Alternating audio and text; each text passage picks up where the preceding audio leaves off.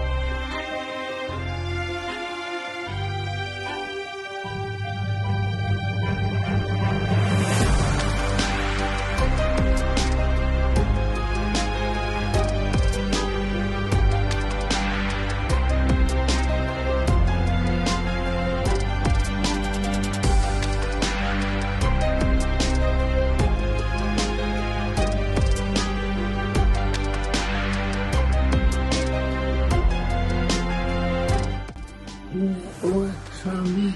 I need to drink some water and then I'm gonna go to my morning routine and probably practice again at some point.